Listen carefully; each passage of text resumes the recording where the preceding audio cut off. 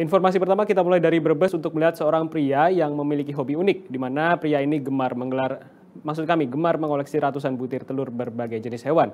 Bukan hanya unggas, pria ini juga mengoleksi telur dari jenis reptil. Semua koleksi telur bermacam hewan ini diletakkan dalam etalase dan masing-masing telur memiliki kotak tempat tersendiri.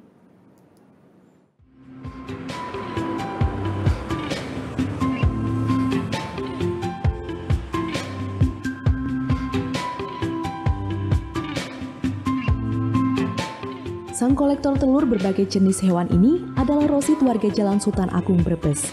Pengrajin telur bebek ini merupakan penemu telur asin panggang pertama di Indonesia.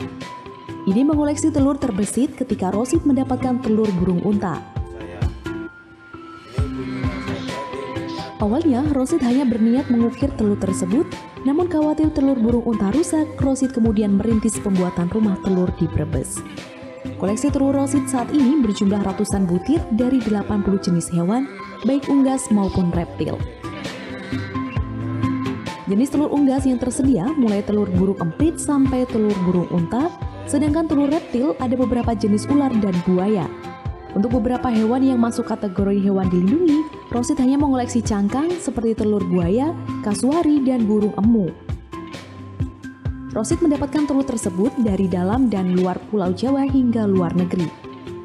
Rosid mengaku masih ada jenis telur yang belum dia miliki, yaitu telur komodo dan burung malio. Dia berharap bisa menambah koleksinya ini meski hanya berupa cangkangnya. Di Brebes itu terkenal dengan telur asinnya, yaitu ikon telur.